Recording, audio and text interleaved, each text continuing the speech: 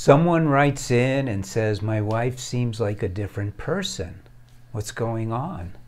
And my name is Paul Friedman. I founded the Marriage Foundation.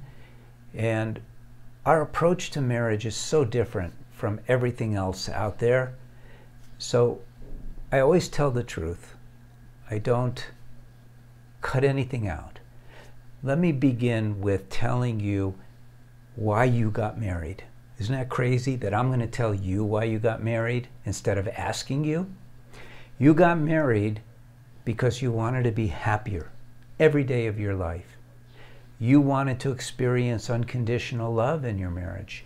You want it because, as a human being, unconditional love and happiness, believe it or not, those are our birthrights. We don't see much of it in the world because people don't know, they don't understand. But those are your birthrights happiness and unconditional love. And when you get married, you're in this sphere, this perfect sphere of what should be joy and happiness. It's called the marriage. I call it the sacred space of marriage. There's just two of you in there, you and your soulmate. By the way, subscribe to this channel now before I forget to remind you. So the two of you are in there, and you're saying, I don't understand my wife anymore. She, she seems to have changed. What's going on?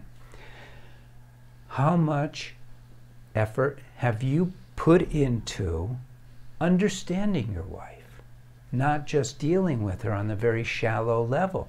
What have you done proactively to understand her, to know her?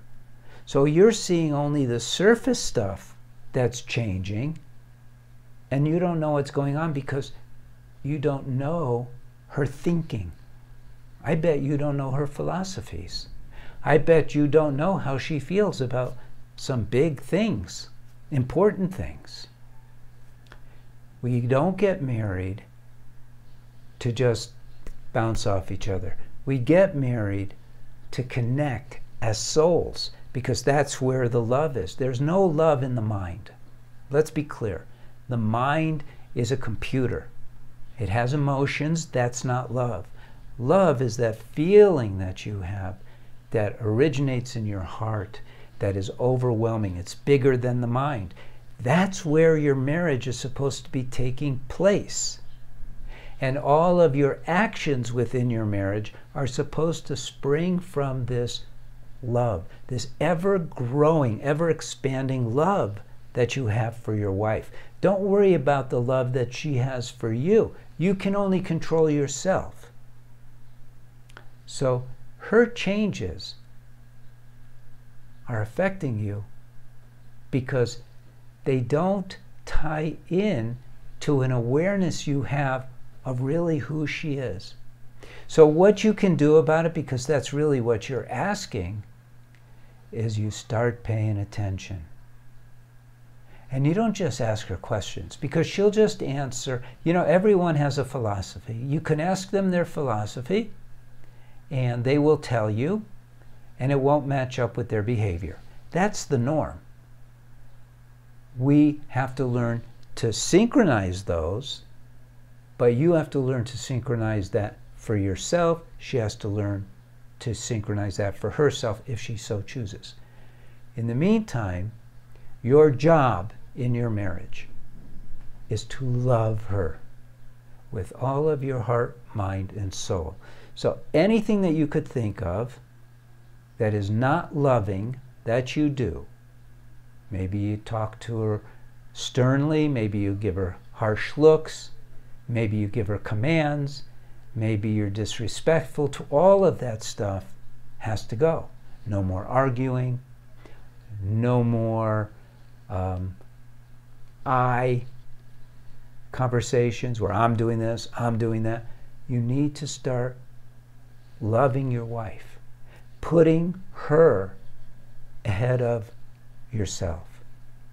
And then you will start to get to know her. It'll just happen automatically. The more you get to know her, you may be thinking, well, I'll see her flaws, but you're going to disregard those flaws because what you want is that love. Everyone's got flaws. Some people have these flaws, those flaws, doesn't matter. Ignore them. Go for the love. And then you'll see her changing yet again, but this time changing into what you originally thought she was, which is your soulmate. That's where it's at. Subscribe to this channel, watch these videos, check out our website, get one of our products, listen to our podcast. We have a new podcast. Go to themarriagefoundation.org. God bless you. This is not a big thing if you do what I suggest. okay. Take care and thank you for your time.